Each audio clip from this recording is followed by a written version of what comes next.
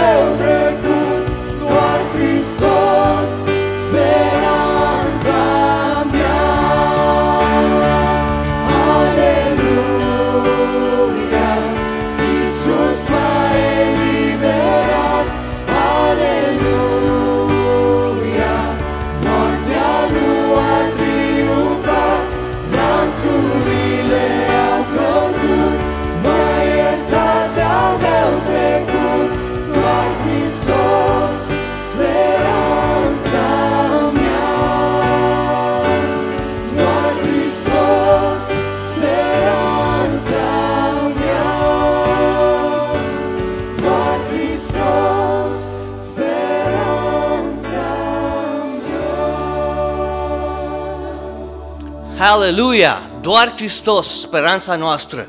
Jesus Christ, our living hope. Amen. Let's open up our Bibles to Matthew chapter 12, and we're going to read starting with verse 15. We're going to read the words of prophet Isaiah found here in the New Testament, quoted by Matthew. Matthew 12, starting with verse 15. Jesus, aware of this, withdrew from there, and many followed him, and he healed them all, and ordered them not to make him known.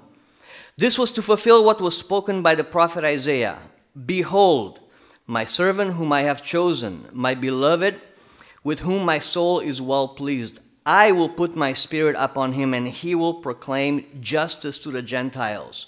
He will not quarrel or cry aloud, nor will anyone hear his voice in the streets.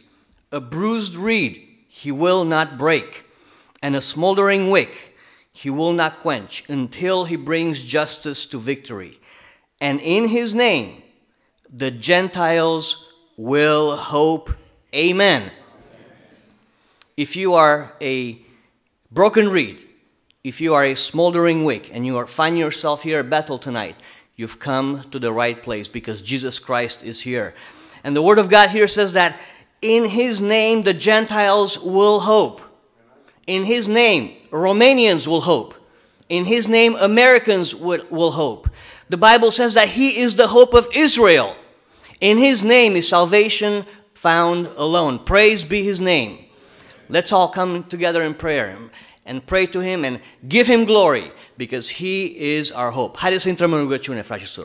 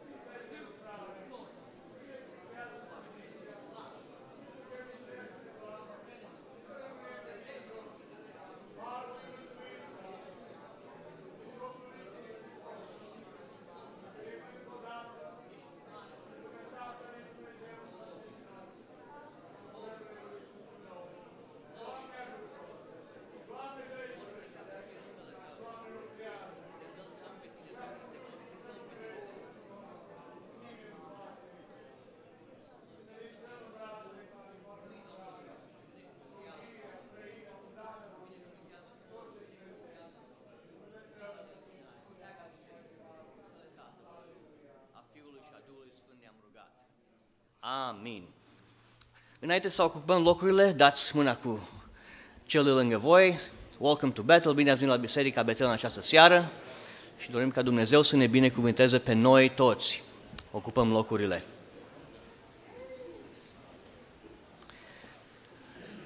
Ne-am adunat aici în numele Domnului Isus Hristos, să înălțăm numele Lui, să-L glorificăm pe El. El este aici rege, împărat, mare preot, mântuitor, slăvit să fie numele Lui. Uh, În această seară avem împreună cu noi pe fratele Nelu Brie, pastorul uh, de la Sibiu. El este și rector al, teologic, uh, al Institutului Teologic Pentecostal din București, unul dintre puținele uh, colegiuri sau uh, instituții de învățământ la nivel universitar, penticostal român, uh, și dorim ca Dumnezeu să-i binecuvânteze acolo unde sunt ei prin marea, pentru marea slujbă pe care ei o fac uh, poporului evanghelic penticostal român. La sfârșitul serviciului vom avea și o strângere, o colectă pentru această instituție. Uh, fratele Nelu de va prezenta un uh, mic video, uh, informational, for informational purposes, ca să putem să sprijinim lucrarea care este acolo în România, la București, la Institutul Teologic Pentecostal. Vom continua această seară. Um, corul va cânta o cântare, după cântarea corului se pregătește grupul de fete să laude pe Domnul, iar apoi vom mai anunța.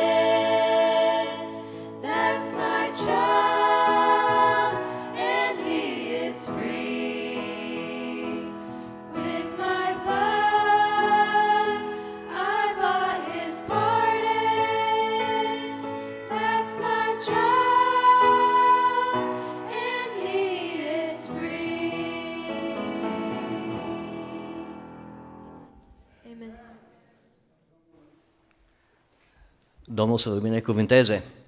În continuare vom asculta un solo, uh, fratele Anthony Gociu. Thank you for serving in the morning in the evening. Uh, după aceasta vom asculta corul, iar apoi vom mai anunța.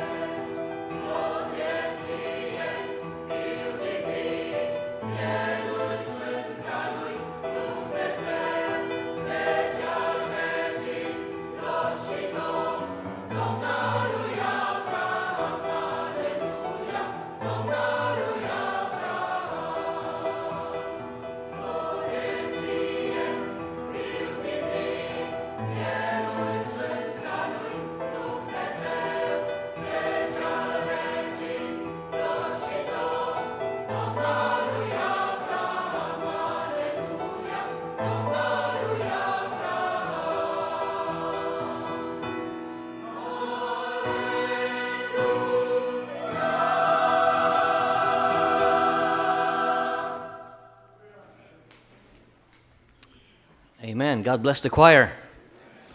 Avem și musafiri din San Bernardino, fratele Liviu Puraci împreună cu fratele Sana. Vă spunem bun venit și Domnul să vă binecuvinteze. Duce salutul nostru în San Bernardino, harul și pacea Domnului. Uh, În continuare ne pregătim să cântăm o cântare sau două împreună cu grupul de worship, vă invit în față. Iar apoi, fratele Nelu Brie va avea la dispoziție restul programului pentru a ne aduce cuvântul Domnului și pentru a aduce și prezentarea despre ITP din uh, București, iar apoi uh, vom conclude programul cu o cântare și cu strângere uh, pentru această instituție. Și doresc ca Domnul să ne binecuvânteze pe noi toți. Amin. Haideți să ne ridicăm în picioare, să cântăm cu toți împreună ridicați în picioare.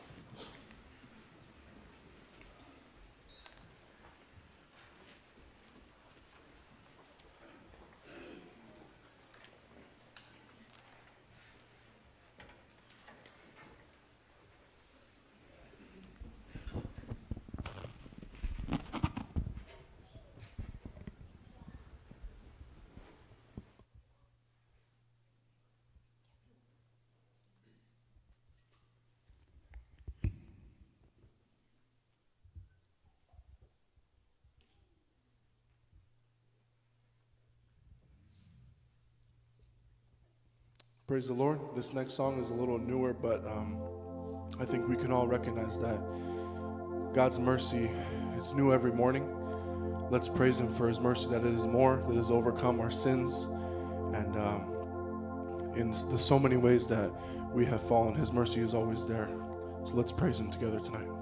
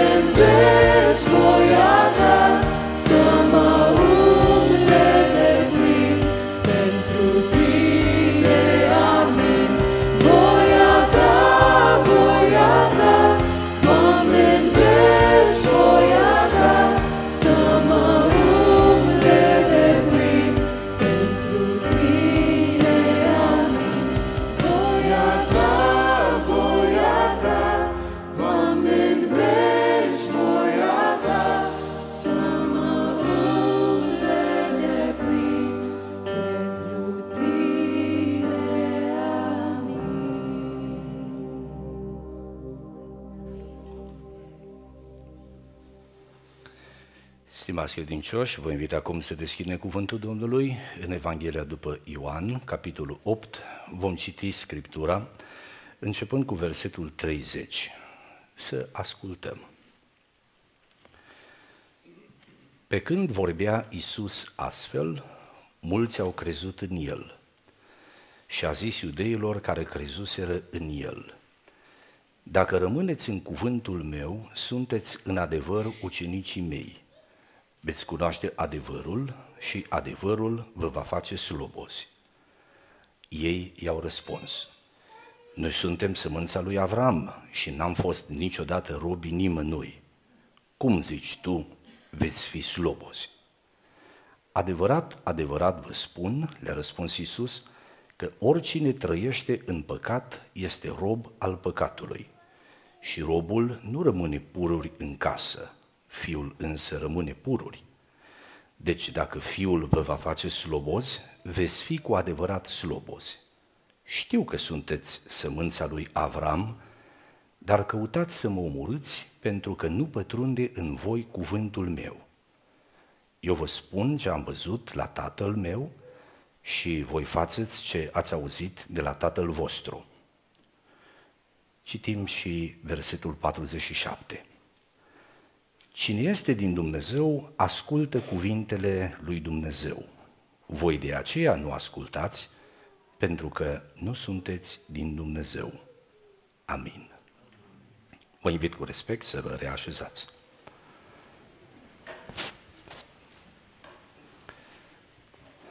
Stimați frați de credință, mă bucur în seara aceasta să pot fi la închinare, la părtășie în Biserica Betel, împreună cu dumneavoastră. Mulțumesc lui Dumnezeu că ne-a ajutat să sosim cu bine, sunt împreună cu soția, cu Laura. Ne bucurăm în aceste zile să ne noim legăturile cu neamurile noastre de aici, cu sora mea, cu natul meu, cu nepoții noștri care se fac de la o vizită la alta tot mai mari și știu tot mai bine românește. Uh, mă bucur să revăd pe frații slujitori în locul acesta. Uh, aduc salutări de la fratele uh, Leonard. Noi suntem prieteni și vorbim între noi destul de des. Domnul să-l însoțească în lucrarea pe care o face în Australia, la convenție, și să îl însoțească. În această zi aș vrea să vă aduc salutări și din partea Bisericii din Sibiu și de asemenea din partea Institutului Teologic Pentecostal din București. Frații, vă transmit har și pace în numele Domnului Isus.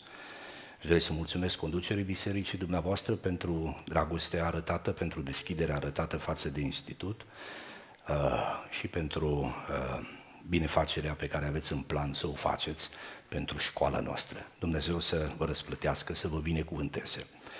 Aș vrea să mulțumesc familiilor care susțin studenți, sponsorizează studenți. Sunt câteva familii în biserica dumneavoastră care, în mod consecvent, an de an, în ultimii ani, încoace, poate chiar 8 ani, 9 ani, unele familii au ajutat studenți. Domnul să vă răsplătească și să vă binecuvânteze. Pentru seara aceasta am citit cuvântul Domnului din acest loc cu gândul să împărtășim un cuvânt despre identitatea noastră creștină, despre ceea ce suntem chemați să fim noi în Hristos. Locul din Scriptură citit uh, poartă în el câteva accente extrem de delicate și de sensibile. Iudeii, din vremea Domnului nostru Isus, se socoteau credincioși autentici. Uh, dacă ei fi întrebat ce cred ei despre ei și ce cred ei despre alți oameni, uh, ar fi spus cu determinare, cu hotărâre, ceea ce de altfel au susținut și în fața Domnului Isus, că ei sunt poporul lui Dumnezeu, ei sunt moștenitorii promisiunilor făcute de Dumnezeu, ei sunt aleșii lui Dumnezeu, ei sunt sămânța lui Abraham, ei sunt cei găsiți sub binecuvântare și mulțumeau lui, mulțumeau lui Dumnezeu pentru toate aceste particularități ale identității lor. Ce este de observat este că Domnul nostru Isus este de altă părere. El le-a vorbit adevărul, le-a spus lucruri care uh, adevărul nu le-au căzut foarte bine.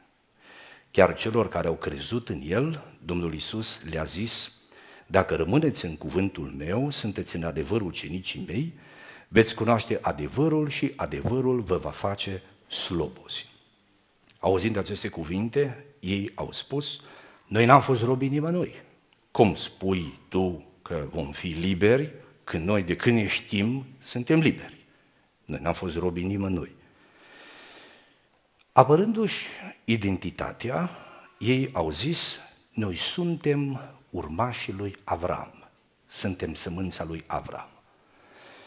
Domnul nostru Isus recunoaște faptul că ei sunt urmașii lui Avram, dar ce este ciudat de observat este că în timp ce Domnul Isus spune, știu că sunteți uh, copiii lui Avram, dar că sunteți sămânța lui Avram, dar nu sunteți copiii lui Avram. E un detaliu foarte, foarte ciudat și în același timp foarte interesant. Este adevărat, spune Domnul Isus acelor oameni, că sunteți descendenții lui Abraham, dar nu sunteți copiii lui. Că dacă ați fi copiii lui, ați face faptele lui Avram. Citind aceste locuri din Scriptură, n-am putut să îmi refuz întrebarea Oare ce ar spune Domnul Isus despre noi? Și noi susținem că suntem poporul lui Dumnezeu, că suntem parte a legământului lui Dumnezeu, că suntem aleși lui Dumnezeu și că ne găsim sub binecuvântarea lui Dumnezeu. Ne revendicăm ca venind dintr-o rădăcină a moștenirii, dintr-o rădăcină creștină, suntem aleși de Dumnezeu și copii ai lui Dumnezeu. Oare recunoaște Domnul Isus în noi aceste stări sau am putea să ne înșelăm? Sigur că aceste întrebări nu trebuie, cum spun, să ni le refuzăm. Amintiți-vă că Apostolul Pavel a spus bisericii din Corint un cuvânt cu tâlc.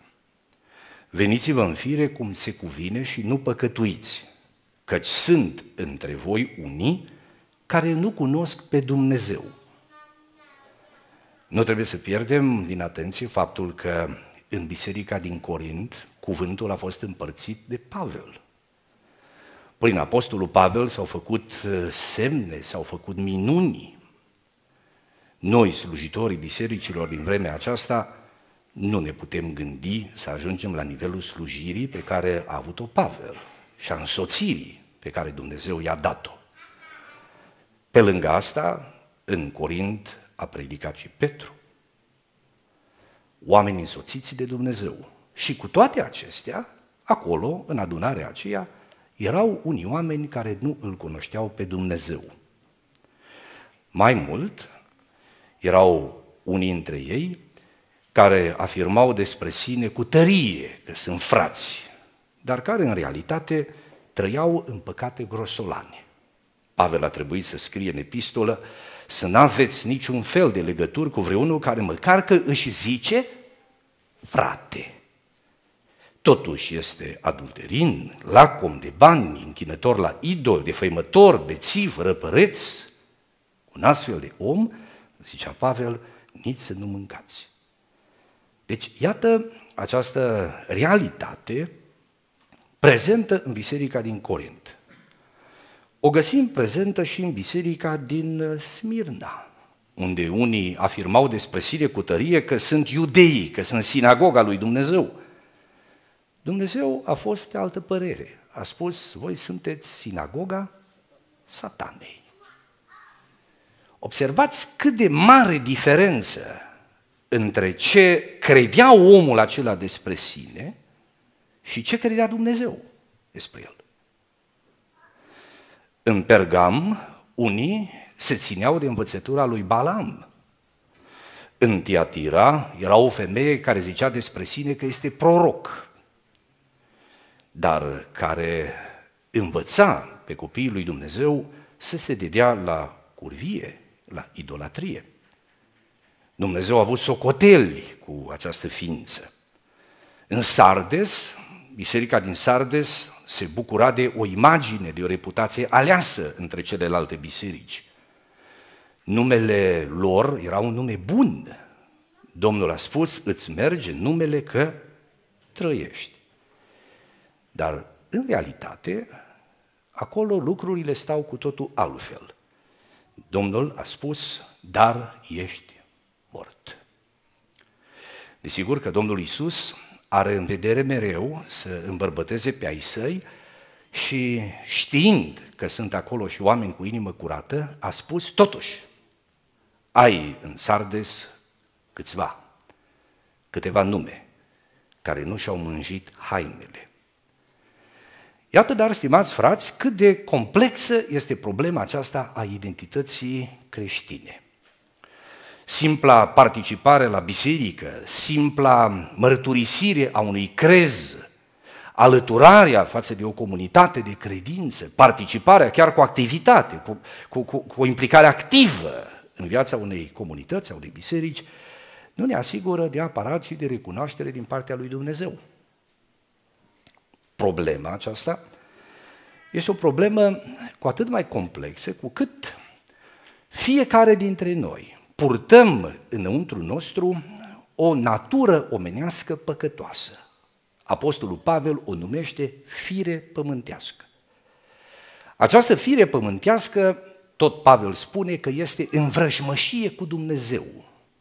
Firea pământească luptă împotriva Duhului. Firea noastră pământească a declarat război Duhului Sfânt. Trăsăturile firii pământești sunt mizerabile. Dar între ele găsim câteva onorabile, chiar dacă sunt mizerabile. Le sunt onorabile. Există o mizerie morală care pe interfață pare onorabilă. Uh, această particularitate a firii pământești, mizerabilă, dar onorabilă, este religiozitatea. Uh, odată cu căderea în păcat, omul nu a pierdut cu totul spiritualitatea.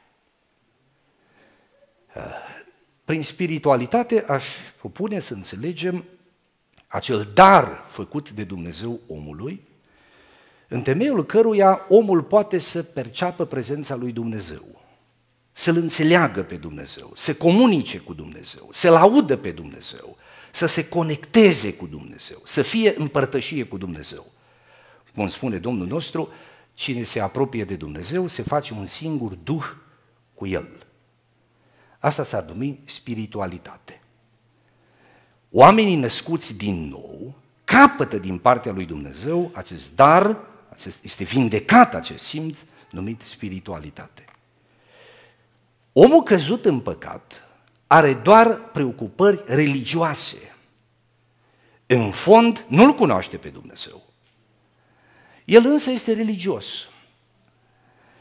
În baza acestor aplecări ale firii sale pământești, el poate să recunoască existența lui Dumnezeu, poate să își făurească o religie, nu ne putem explica nici cum altfel existența în lume a idolatriei, a vrăjitoriei, a superstițiilor, a păgânismului, decât pe fondul existenței religiozității în inima omului. Acum, această natură omenească numită religie, religiozitate, e capabilă să se adapteze, să imite, să reproducă orice formă de credință, inclusiv pe cea creștină. Dacă, să zicem, un copil se naște într-o familie de musulmani, când copilul acela se face mare, sub influența educației primită în familie, când e mare, copilul acela se declară musulman. Dacă s-a născut într-o familie de hinduși, educația primită în familie, exemplu văzut în familie, îl determină când e mare să se declare hindus. Iar dacă s-a născut într-o familie de creștini, exact aceleași reflexe omenești ale naturii religioase omenești, care l-a făcut pe musulman musulman și pe hindus hindus, îl face pe copilul de creștin să se declare creștin. Așa au apărut așa numiții creștini nominali, cu numele.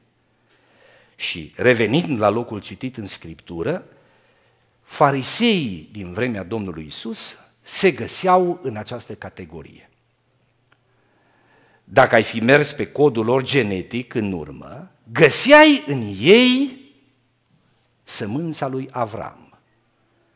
Dar din punct de vedere al identității spirituale, nu erau copiii lui Avram.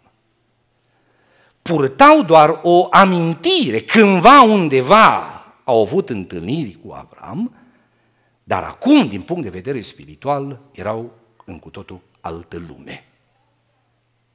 Asta este problema. O problemă veche, o regăsim încă la primii oameni. Amintiți-vă că Abel și Cain s-au dus să se închine lui Dumnezeu.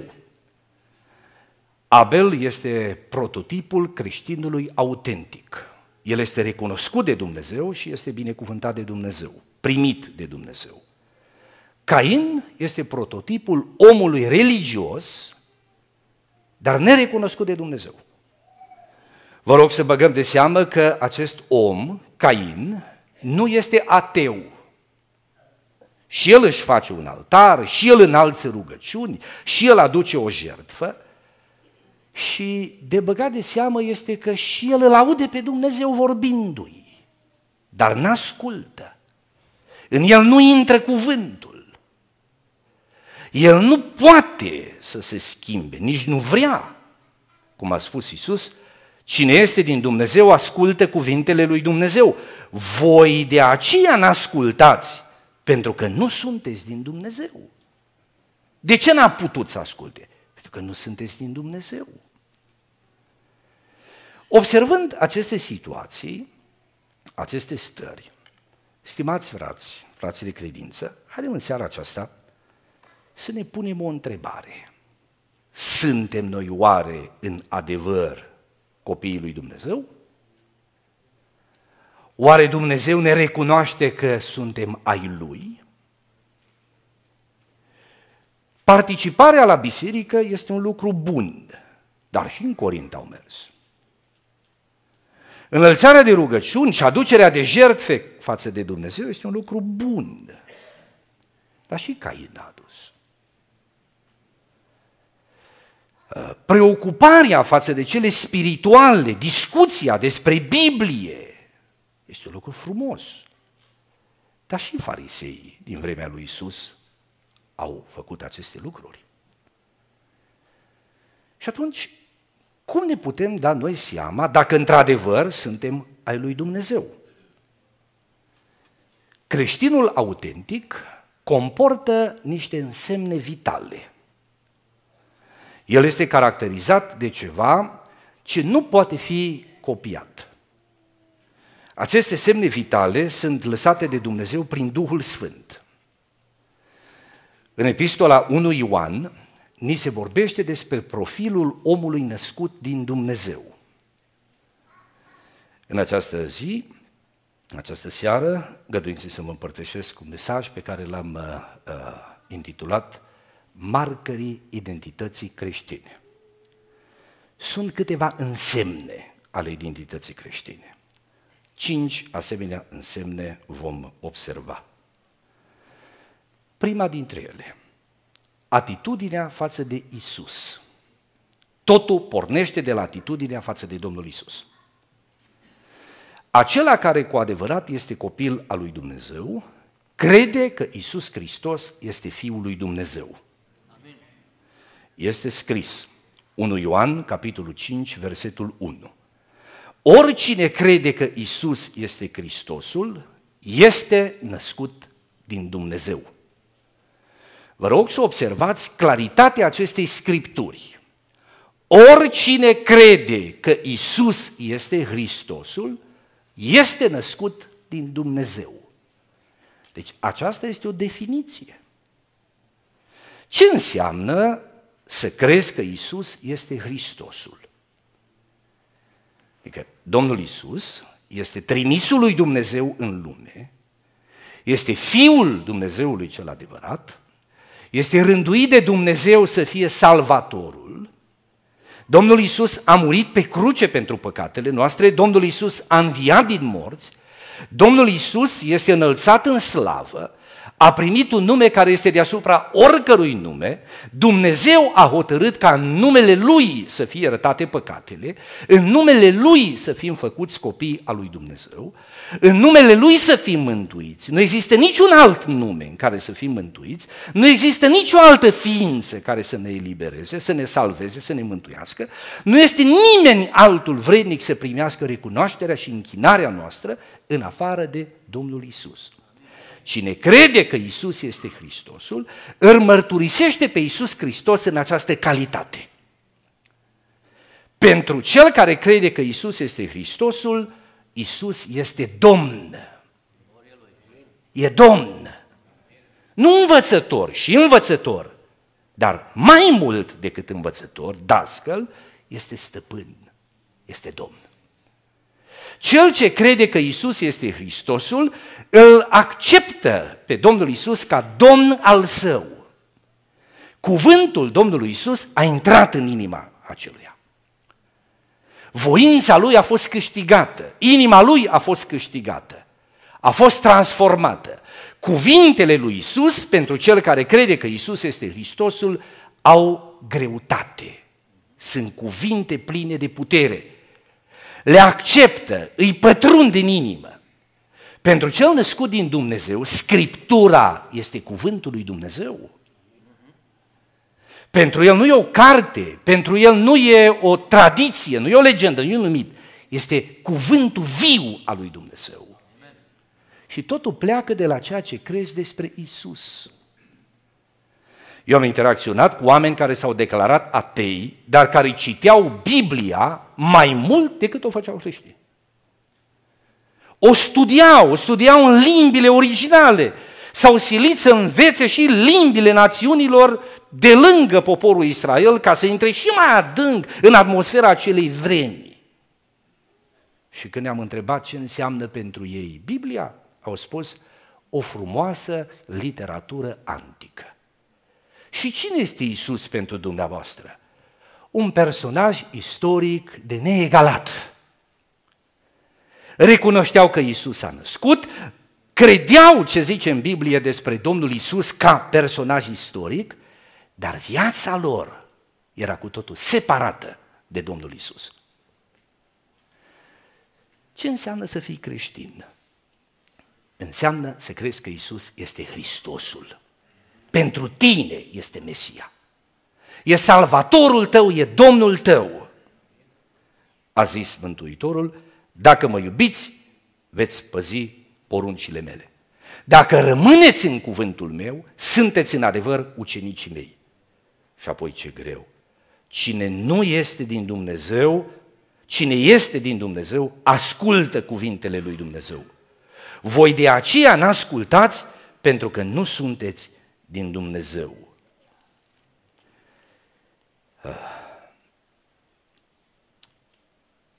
Auziți ce a mai spus Domnul nostru. Versetul 54. Dacă mă slăvesc eu însumi, slava mea nu este nimic. Tatăl meu mă slăvește, El despre care voi ziceți că este Dumnezeul vostru. Și totuși nu-L cunoașteți. De ce? Că l-au respins pe Isus. Și e ciudat să fii în prezența lui Isus, să vorbești cu Isus, să auzi cuvintele lui Isus și totul să-l respingi. Asta se poate întâmpla și nouă, oameni buni. Păi dacă celor care l-au văzut pe Isus făcând miracole, li s-a întâmplat asta, și nouă ni se poate întâmpla asta. Unde e diferența? Inima. Inima. A fi creștin autentic înseamnă să crezi că Isus este Hristosul. Această trăsătură extrem de importantă ne conduce spre a doua, și anume atitudinea față de moralitate. Creștinii autentici nu trăiesc în păcat. Ordinea în care trebuie să așezăm aceste trăsături este exact cea pe care am mărturisit-o. Întâi Isus și apoi morala. Unii inversează lucrurile. Întâi vor să exceleze în morală și apoi să vină la Isus. Nu se poate asta. În ce privește atitudinea față de moralitate, față de păcat, creștinii născuți din Dumnezeu nu trăiesc în păcat, Epistola 1 Ioan, capitolul 3, de la versetul 6 la versetul 10, ne spune următoarele cuvinte. Oricine rămâne în El, în Isus, nu păcătuiește. Uitați-vă. Oricine rămâne în Hristos, adică este creștin autentic, nu păcătuiește. Și să fie mai clar. Oricine păcătuiește nu l-a văzut, nici nu l-a cunoscut. Copilașilor, versetul 7, nimeni să nu vă înșele. Cine trăiește în neprihănire este neprihănit, cum el însuși este neprihănit. Cine păcătuiește este de la diavolul. Încă o dată, cine păcătuiește este de la diavolul. Oameni buni, uitați ce scrie. Cine păcătuiește este de la diavolul. Este dat să vedem creștini care se declară creștini și care cu nerușinare trăiesc în păcat. Eu am interacționat cu asemenea oameni. Nu vorbesc din auzite, din experiența celor 20 ani, de, de 6 de ani de slujire pastorală. Am avut sub ochii mei om care zicea, îl iubesc pe Dumnezeu, mă rog lui Dumnezeu, și zicea că nu-l mustră conștiința, că și înșală nevasta. Că el e creștin. Că e normal ce face. Avea explicații și explicații. Își făcuse o teologie care justifica stările sale. Și când i-am arătat acest text, s-a bălbuit. Cine păcătuiește este de la diavolul. Cum poți să spui sunt copil al lui Dumnezeu și trăiești în păcat? Ce nu știe bine inima ta ce faci? Aici nu e de dezbatere, nu problema nu e de dezbatere, nu e dispută, nu e discuție, sunt chestii de identitate. Cine, definiție, cine păcătuiește este de la diavolul. Căci diavolul păcătuiește de la început. Fiul lui Dumnezeu s-a arătat ca să nimicească lucrările diavolului. Auziți cum continuă Scriptura. Oricine este născut din Dumnezeu nu păcătuiește. Pentru că sămânța lui rămâne în el și nu poate păcătui, fiindcă este născut din Dumnezeu. Desigur că aici Scriptura nu ne vorbește despre perfecțiune morală. Aceste texte din Scriptură nu, ne, uh, nu susțin că cel născut din Dumnezeu nu poate greși, că e desăvârșit, că n-ar greși deloc. Nu. Că dacă despre asta ar fi vorba, n-am avea afirmația făcută de, tot de Ioan, copilașilor vă scriu aceste lucruri ca să nu păcătuiți. Dar dacă cineva a păcătuit, avem la Tatăl mijlocitor. Și nici n-ar fi zis, uh, dacă zice cineva că n-are păcat, se înșală singur. Și nici n-ar fi zis, dacă ne mărturisim păcatele, înseamnă că avem ce? Deci nu de perfecțiune morală e vorba, ci e vorba de orientare, e vorba de natura morală. Cel născut din Dumnezeu nu trăiește în păcat, nu se complace în păcat. El îl iubește pe Isus și caută cu toată ființa lui să păstreze standardele înalte ale Scripturii. În ce privește profilul său moral, omul născut din Dumnezeu se conduce după morala Bibliei. Ce zice Biblia că e păcat, pentru creștin este păcat. El e caracterizat de acel bun simț duhovnicesc care îl determine să recunoască în textele Scripturii grasul lui Dumnezeu. Și Duhul Sfânt care locuiește în el nu-l lasă în confuzie. Îi deschide ochii. Atitudinea față de moralitate. Din nefericire, trăim vremuri în care moralitatea în multe biserici este denaturată. Învățătorii din multe biserici contemporane se fac vinovați de stricarea cuvântului lui Dumnezeu. Și poate că nu neapărat prin declarații fățișe, și unii au ajuns să facă și asemenea lucruri, cât mai degrabă prin tăcere compromițătoare. Oamenii sunt lăsați să meargă de capul lor.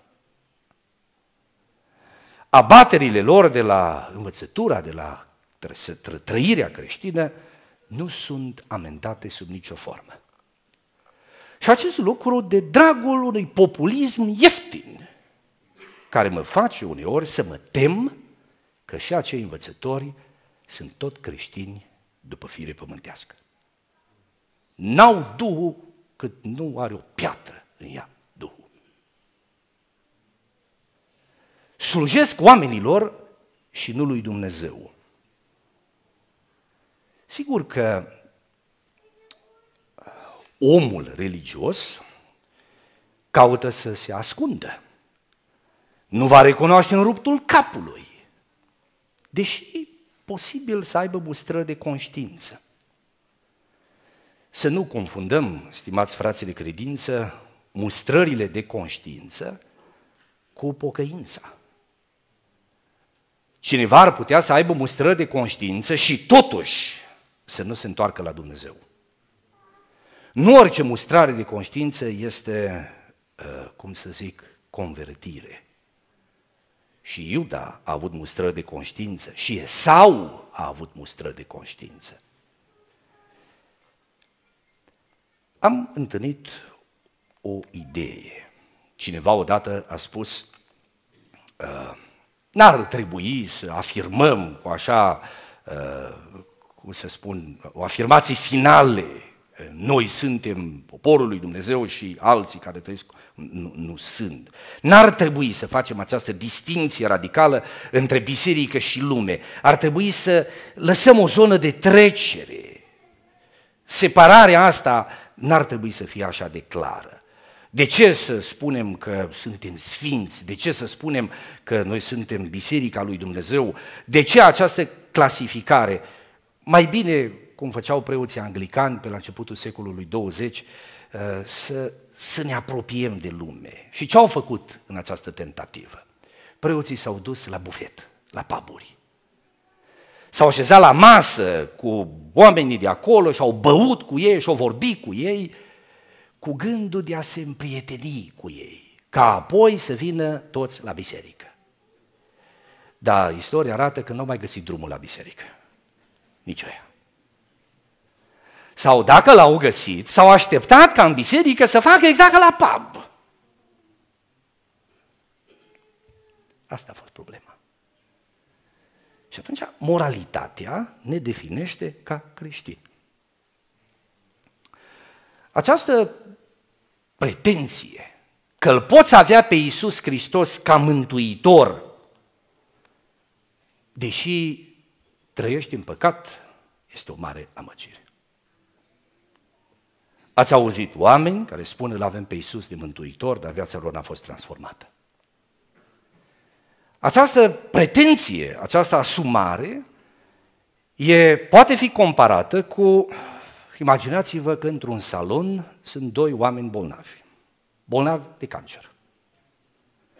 Unul dintre ei are cel mai bun medic în lume, e medicului curant. Celălalt nu are niciun medic. Dar amândoi sunt pe moarte.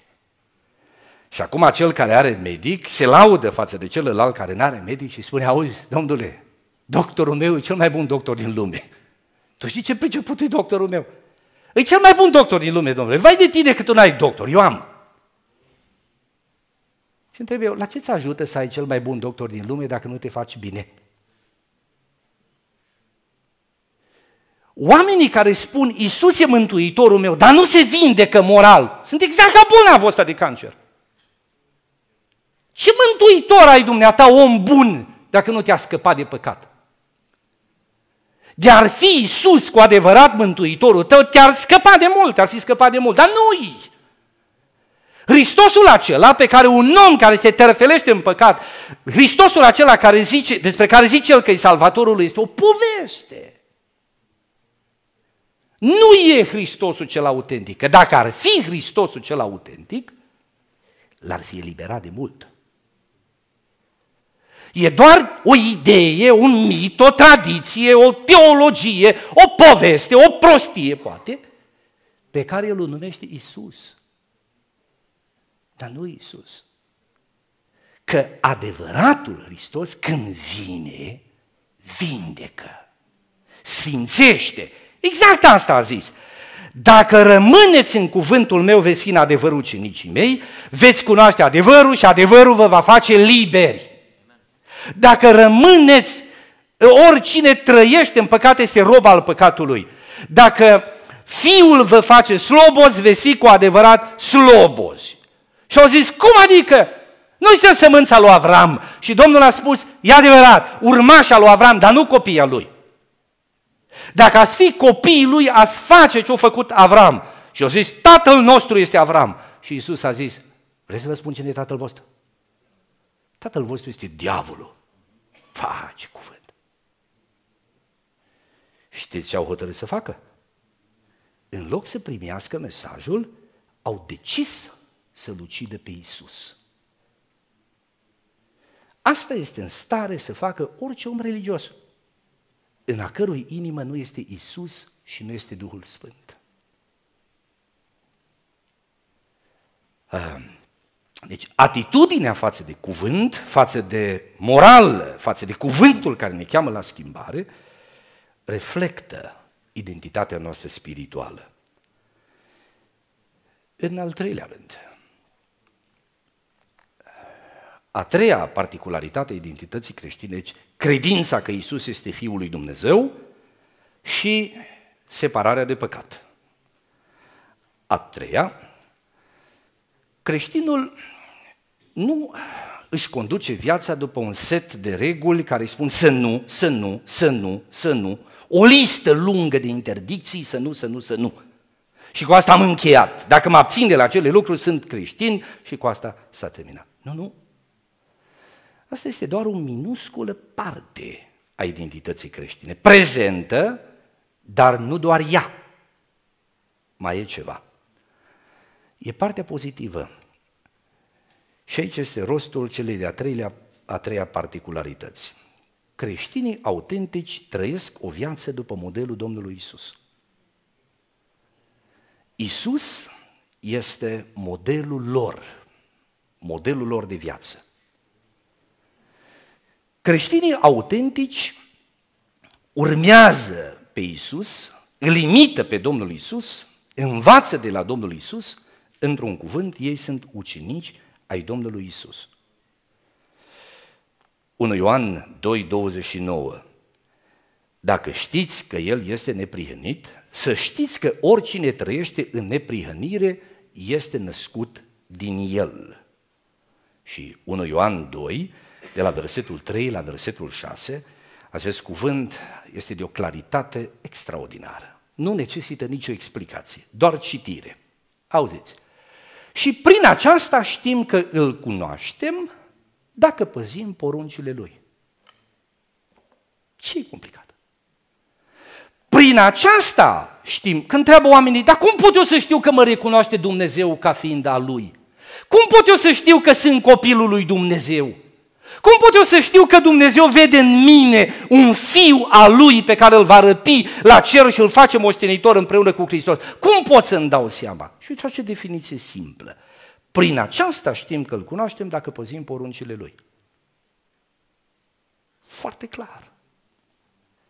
Și apoi, ca să fie și mai clar, continuă spunând, cine zice îl cunosc și nu păzește poruncile lui, este un mincinos. Ce dorim mai limpede? Cine zice îl cunosc pe Domnul Isus, Isus e mântuitorul meu, am la mai bun medic, salvatorul meu, Domnul meu, dar nu păzește poruncile lui. Adică Isus îi spune în cuvânt să nu prea curve și el face asta. Să nu minți și el face asta. Să nu ții dușmărie și el face asta. Să nu te răzbuni și el face asta. Să nu fii lacom și el trăiește în lăcomie. Și în timp ce el pretind, are aceast, acest profil moral, efectiv nu, nu ține cont de ce spune Isus. Ba dacă se întâmplă să insiști, îl deranjează cuvintele lui Isus. Cine zice îl cunosc și nu păzește poruncile lui este un mincinos. Asta este definiția cuvântului. Și adevărul nu este în el. Apoi continuă Scriptura spunând, dar cine păzește cuvântul lui, în el dragostea lui Dumnezeu a ajuns desăvârșită. Și prin aceasta știm că suntem în el. Și apoi, foarte frumoasă concluzie în uh, încheierea acestei prezentări simple. Cine zice că rămâne în el, trebuie să trăiască și el cum a trăit Isus.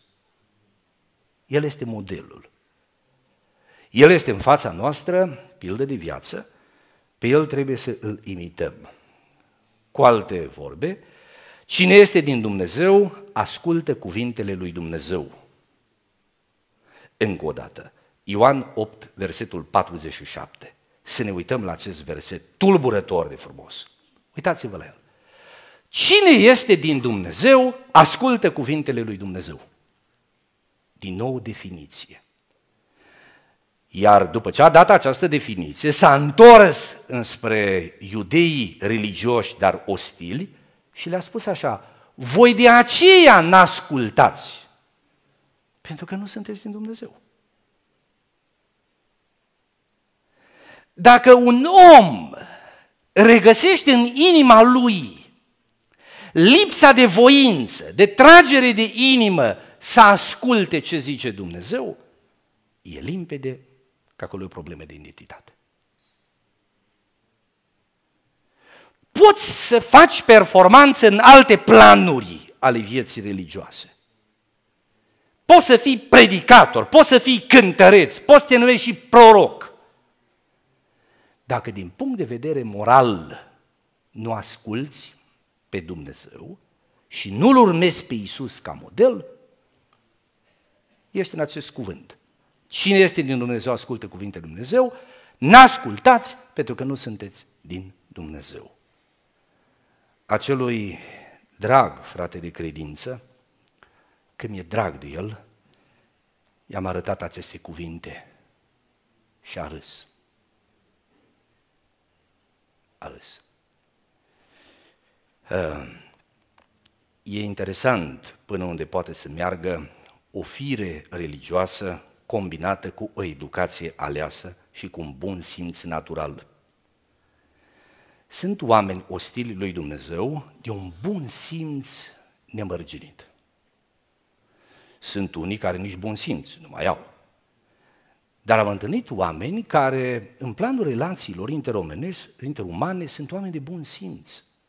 O educație deosebită. Nu te-ar jigni ferească Dumnezeu. N-ar vorbi urât. Și ce e dureros este că tocmai acest bun simț al lor îi ajută să fie înșelați mai tare. Pentru că în timp ce au acest profil interuman, inter, interrelațional uman, totuși ei n-ascultă de Dumnezeu. Dau cu vorbele lui Isus Hristos de pereți. Și l-ar răstigni pe Isus dacă ar încerca să intre în viața lor să le schimbe rânduielile. Deci, iată probleme de identitate. Atitudinea față de Isus, atitudinea față de morală, față de păcat, atitudinea față de dreptate, față de ce e drept, față de ce este corect. Creștinul urmează pe Isus în modelul lui de viață. A patra trăsătură. Creștinii autentici iubesc pe aproapele lor. Un creștin autentic iubește pe aproapele său. Din nou, o chestiune de identitate. Să citim de data aceasta 1 Ioan, capitolul 3, de la versetul 10. Este un pasaj mai amplu, l-am mai citit, dar haideți să revenim asupra lui. Prin aceasta se cunosc copiii lui Dumnezeu și copiii diavolului. Din nou, definiție. Când vezi cum începe, te înfiori. Prin aceasta se cunosc copiii lui Dumnezeu și copiii diavolului. Oricine trăiește în neprihăn, nu trăiește în neprihănire, nu este de la Dumnezeu. Și apoi, nici cine nu iubește pe fratele său. Și acum se continuă cu această temă a felului care scoate în evidență felul, legătura între iubire și identitate. Cuvântul Domnului continuă spunându-ne. Căci vestirea pe care ați auzit-o de la început este aceasta, să ne iubim unii pe alții. Nu cum a fost Cain, care era de la cel rău și a ucis pe fratele său. Și pentru ce l-a ucis? Asta este o întrebare dureroasă. Uitați-vă, vă rog, ce l-a deranjat pe Cain. Pentru ce l-a ucis? Ce l-a făcut să capete dușmănie? Ce-a greșit? Abel. Oamenii se urăsc între ei și dacă îi întreb de ce, pot să-ți dea niște explicații care te-ar convinge. Mă, ne-a omorât tata. Ne-a violat nevasta, a făcut ce a făcut. Normal, trebuie să-mi fac dreptate, nu pot să-l văd pe omul ăla, mi-a făcut rău. Și în legile oamenilor care nu-L cunosc pe Dumnezeu, poate să existe o explicație rațională a ostilității, a dușmăniei. Dar ne întoarcem la Cain. Și pentru ce l-a urât, l-a ucis. Auziți, pentru că faptele lui erau rele, iar ale fratelui său erau neprihănite. Extraordinar. Deci țineți minte, pe omul religios din biserică, modelul curat de viață al fratelui lui Abel naște dușmănii și ostilități și respingere. Poate că o parte a problemelor dintre cele cu care s-a confruntat biserica în cursul vremii și-o găsi rădăcină și aici. În această aplecare a firii pământești. Adică n-ajunge că ești tu rău. N-ajunge că nu poți să-l urmezi pe Abel. N-ajunge că ți rele faptele. N-ajunge că îl supăr pe Dumnezeu, dar te deranjează. N-ajunge că nu vrei să asculți, dar te enervează, Domnule, când îl vezi pe altul. Deci în loc să te mustre conștiința, în loc să se nască în tine dorința să te schimbi, în loc să tânjești după transformare, în loc să ceri ajutor, capeți ură. Și de ce? Că tu ești rău. Ia. Și el, fratele tău, care se roagă pentru tine, câștigă în locul mulțumescului pe care ar trebui să-l tai, dușmânia. De ce? Pentru că în inima lui era un religios mânat de fire pământească și nu de Duhul Sfânt. Deci, pe fond e iubirea. Apoi cuvântul continuă spunându-ne așa. Nu vă mirați, fraților, dacă vă urăște lumea, versetul 13. Nu vă mirați, fraților, dacă vă urăște lumea. Noi știm că am trecut din moarte la viață pentru că iubim pe frați. Cine nu iubește pe fratele său este un ucigaș. Și știți că niciun ucigaș nu are viață veșnică rămânând în el. Noi am cunoscut dragostea lui și prin aceasta știm, prin aceasta și prin aceea că el și-a dat viața pentru noi. Și noi, deci, trebuie să ne dăm viața pentru frați. Să ne uităm la un loc. 1 Ioan 4 de la 7 la 8. Preiubiților, să ne iubim unii pe alții, căci dragostea este de la Dumnezeu. Oricine iubește este născut din Dumnezeu, pentru că Dumnezeu este dragoste. Sau să ne uităm încă o dată, preiubiților să ne iubim, nu, e, e, e așa, preiubiților să ne iubim unii pe alții, căci dragostea este de la Dumnezeu. Oricine iubește este născut din Dumnezeu și cunoaște pe Dumnezeu. Observați definiția? Deci, cine iubește este născut din Dumnezeu și cunoaște pe Dumnezeu. Și cum este explicată? Care e rădăcina acestei iubiri? Uitați-vă la versetul 8. Cine nu iubește n-a cunoscut pe Dumnezeu, pentru că Dumnezeu este dragoste. Deci până la urmă totul ține de e Dumnezeu în inimă sau nu e? E Iisus în suflet sau nu e? A venit Duhul de viață? Duhul Sfânt sau nu?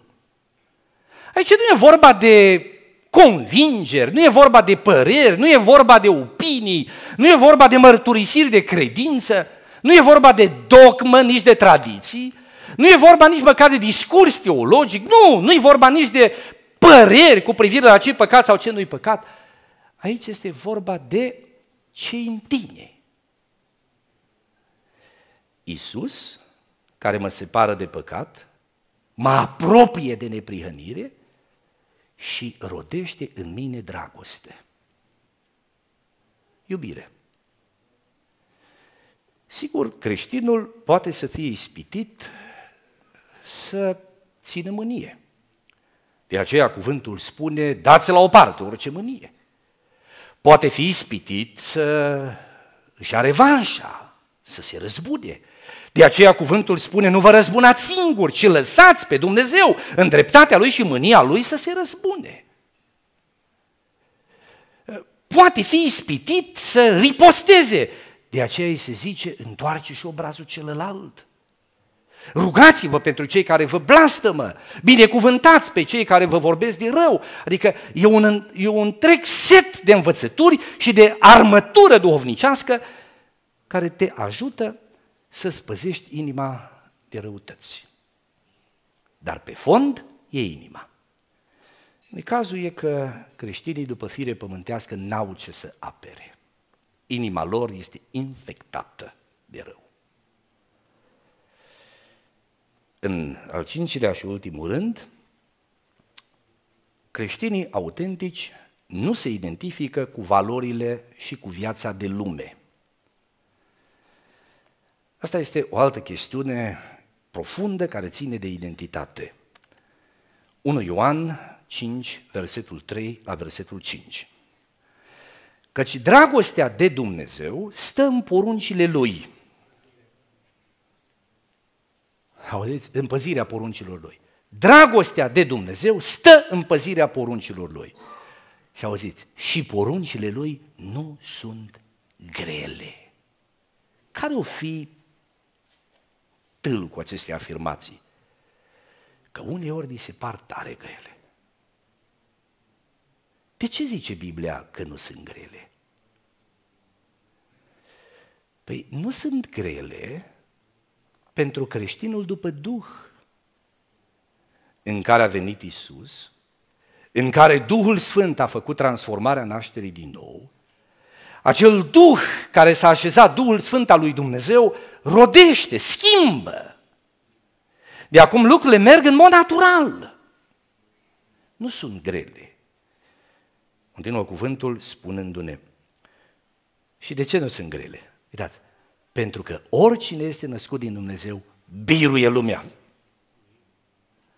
Și ceea ce câștigă biruința asupra lumii nu e silința, nu e concentrarea, nu e împotrivirea, nu, adică nu, nu, nu ține de zona aceasta a efortului omenesc, ci se înrădăcinează în credință.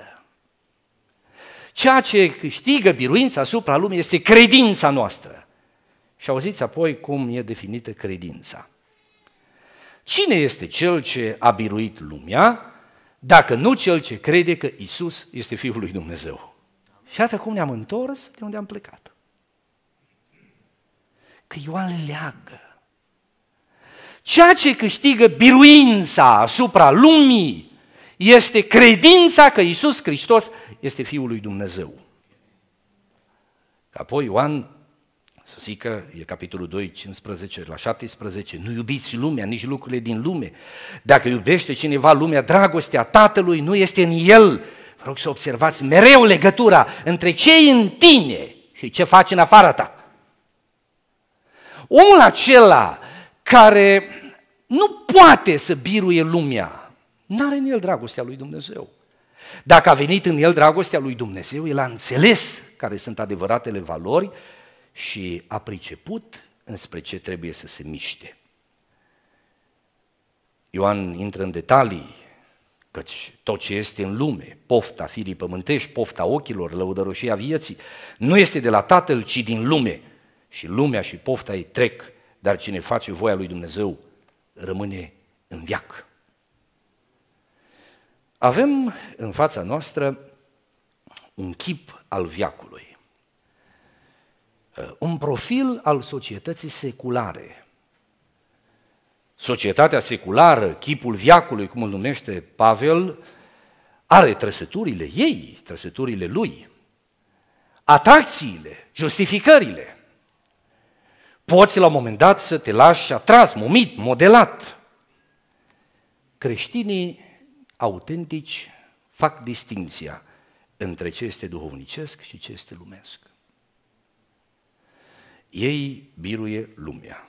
Între ei și valorile de lume există o separare radicală.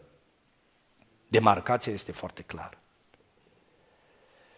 Din păcate, trăim vremuri în care linia de demarcație între biserică și lume nu mai este atât de clară cum a fost cândva.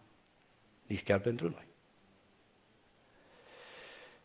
Mă tem că această idee că vom fi relevanți pentru lumea din afară în măsura în care construim capete de pod înăuntru care să fie relevante pentru ei, asta ne poate distruge de tot. Mă tem că lucrul acesta se poate întâmpla și bisericii din generația noastră. Ne stă drept mărturie, rău exemplu, comunități, confesiuni care au pățit așa. Au simțit că vor fi mai relevanți, mai atractivi pentru lumea din afară dacă înăuntru vor construi capete de pod. S-a început cu întâlniri de tineret, gândite, croite într-un fel relevant și ciudat pentru tineri, sămânță de creștin, dar necopiii lui Dumnezeu. Și s-a văzut că lor le place un fel de muzică, un fel de spectacol, un fel de abordare și aia a fost reprodusă, cumva, în formă. Uneori s-a mers până acolo încât cântecele creștine, din ele a fost scos numele lui Isus, punându-se pronumele personal. Desigur, oamenii duhovnicești, când au zis uh, uh, mi-e dor de tine, s-au gândit la Isus.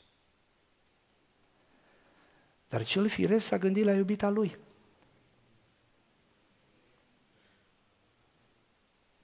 Nu e voie să fim atât de vagi în mesaj.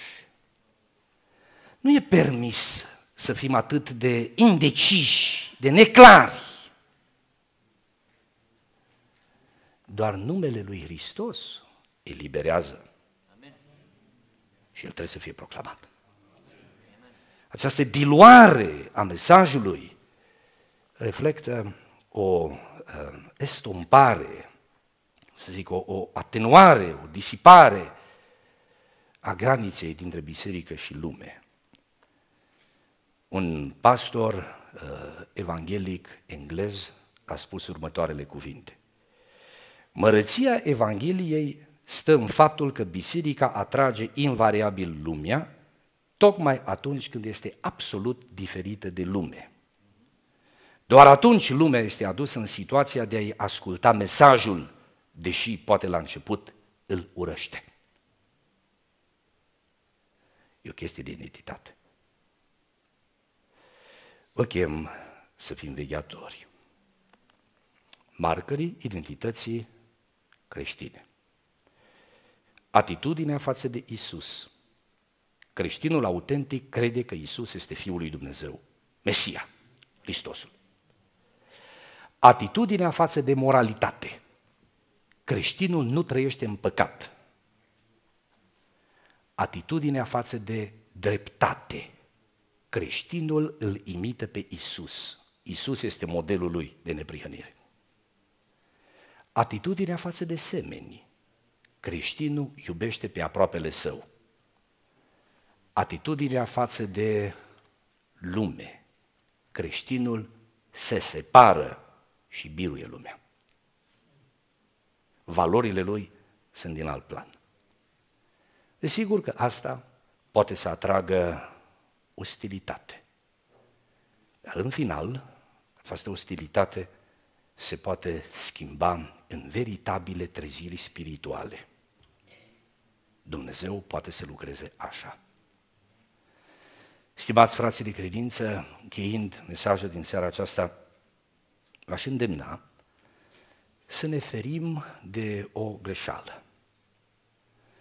Greșeala de a considera că acest mesaj se potrivește perfect cu tare, cu tare, cu tare.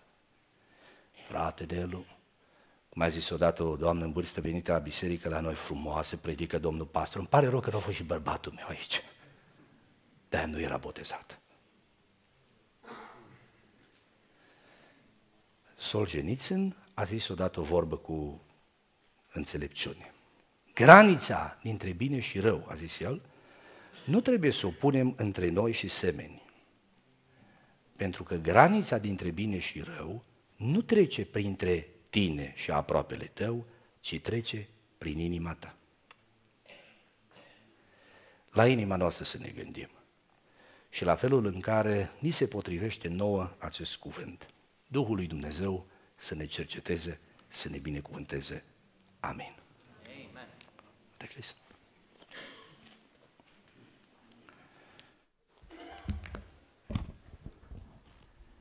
The Lord gave us a deep message tonight, but also very applicable to a Christian's real life.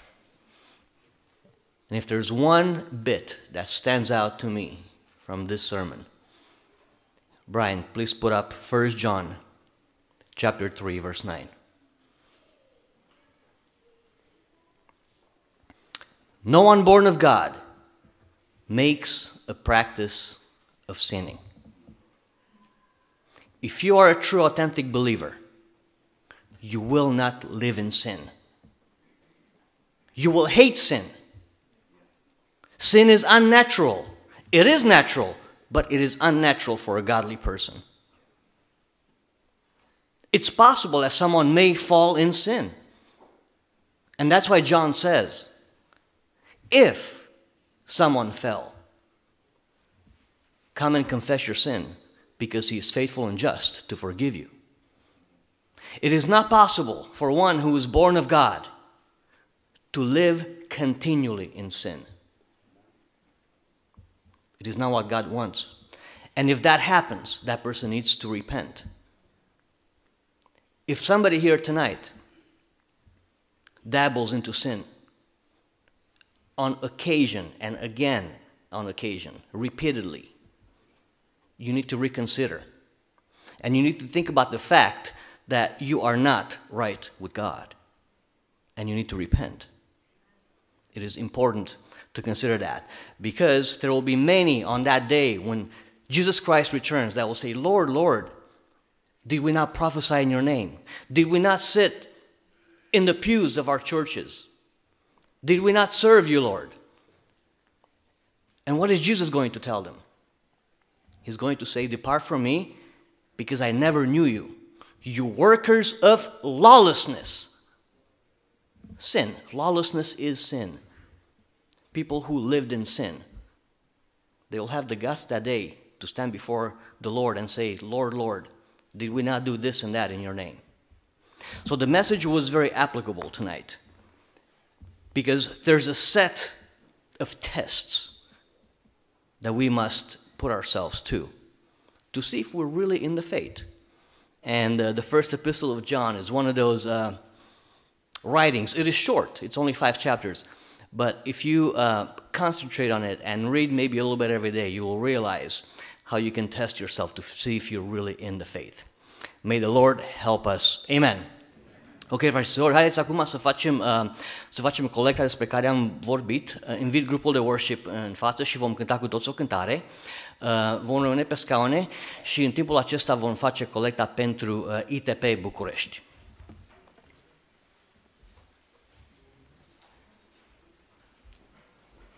Let's do the video first, and then we will sing the song.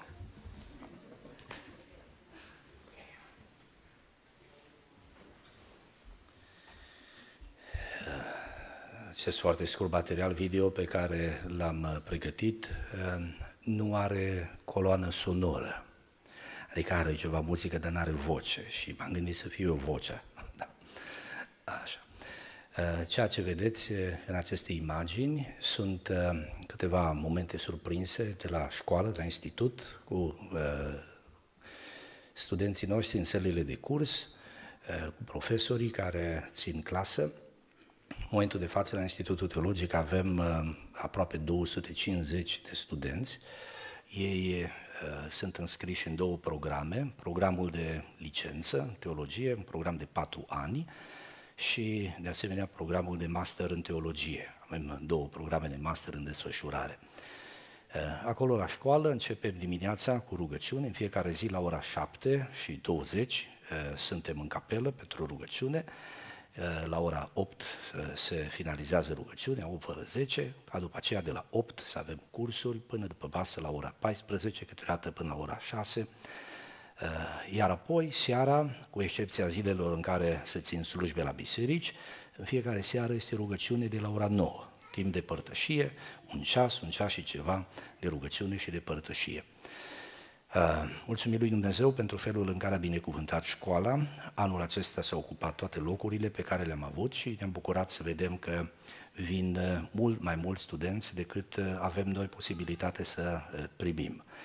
Cunoașteți că de o vreme încoace construim noua clădire a școlii. Imaginile pe care le vedeți sunt luate de la uh, fața locului, în șantier. Uh, aceste imagini sunt undeva din luna august, luna septembrie uh, anului care a trecut. Între timp s-a înaintat și mai mult lucru.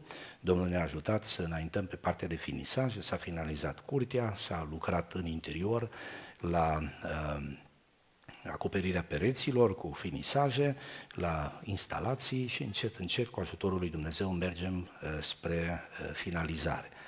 Dorința noastră mare ar fi uh, să ne dea Dumnezeu binecuvântarea ca începutul anului universitar uh, următor să aibă loc în clădirea nouă. Asta ar însemna ca în octombrie să ne mutăm acolo, adică peste uh, 9 luni. nu? Uh, Eu cred că lucrul acesta este posibil. Este adevărat că de împlinirea acestui vis ne desparte multă muncă, mult sacrificiu și o mare nevoie financiară. Uh, Proiectul acesta, în care s-a investit până acum aproximativ 4 milioane de dolari, este fructul uh, unității bisericilor creștine românești. Frați și surori din România, din Europa, multe biserici în Statele Unite, familii au pus mână de la mână și așa s-a făcut ce s-a făcut. Am văzut mâna lui Dumnezeu de atâtea ori. Nu e vreme să vă relatez în ce fel, frații care cântă abia așteaptă să se închine lui Dumnezeu și noi împreună cu ei. Vreau doar să apelez la generozitatea dumneavoastră, asigurându-vă că această lucrare este lucrarea lui Dumnezeu. Ne silim să slujim lui Dumnezeu și fie ca Dumnezeu să își pună gândul lui în inimile noastre și să arate ce trebuie să facem pentru această lucrare. Este adevărat, creștinii nu sunt chemați să facă tot binele din lume. Binele e mult mai mult decât putem noi să facem. Duhul ne va călăuzi pe fiecare care este acea parte a binelui pe care să o facem. Seara asta este rândul Institutului. Dumnezeu să vă călăuzească și să vă binecuvânteze. Amin.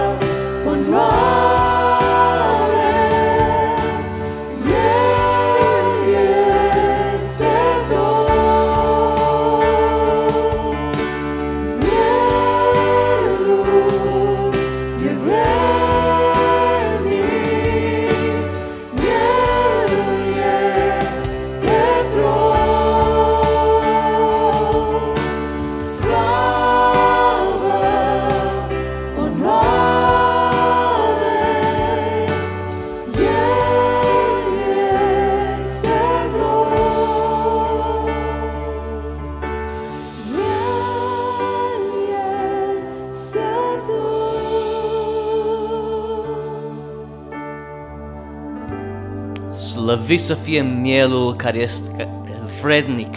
Hallelujah! Slavă Domnului nostru Isus Hristos! Vă invit ca să intrăm într-o rugăciune de încheiere și să cerem binecuvântarea Lui peste noi în continuare. Amin.